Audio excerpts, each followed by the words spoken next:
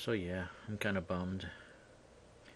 Yesterday was World Turtle Day, and I totally forgot. It was about 9 o'clock, and I was in chat with my buddy Bob, talking about it, and I totally forgot. I'm sure all my friends probably had parties and celebrations, maybe did some barbecues. Um, I didn't even so much as get a card. But I guess, you know, at least today and tomorrow, cards will be 50% off, so I can get a discount card. And